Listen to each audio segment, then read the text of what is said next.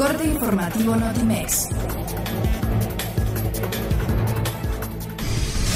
El presidente Andrés Manuel López Obrador señaló que en la época neoliberal se crearon diversos organismos para simular que se combatiría la corrupción y que habría transparencia, como fue el caso del INAI, que le cuesta al pueblo mantenerlo mil millones de pesos al año, y entre sus decisiones estuvo la de dejar en reserva la información sobre el caso Odebrecht.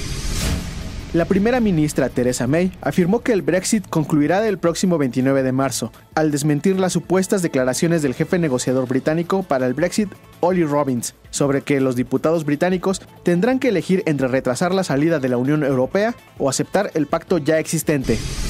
La nueva escuela mexicana propuesta por el gobierno de la Cuarta Transformación tiene como centro a la niñez y los jóvenes del país, y en el aula el libro de texto gratuito seguirá desempeñando el papel crucial como herramienta, acervo y fuente de referencias y compendio de conocimientos, afirmó el secretario de Educación Pública, Esteban Moctezuma Barragán. Este 13 de febrero se conmemora el Día Nacional del Águila Real, símbolo de la mexicanidad que, con la presencia de solo 156 parejas, está en peligro de extinción, alertó Enrique Cisneros, coordinador técnico de proyectos especiales e innovación del Fondo Mexicano para la Conservación de la Naturaleza.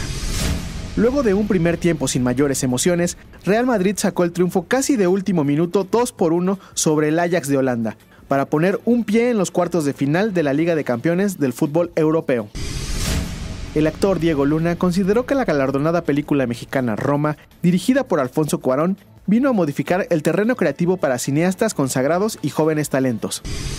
Chimali, Tesoro de Moctezuma en Chapultepec, es mucho más que una exposición abierta en el icónico castillo del bosque de Chapultepec. Es la biografía de una pieza excepcional, de un escudo prehispánico de singular belleza y valor histórico. Es uno de los cuatro que existen aún en el mundo. Notimex. Comunicación global.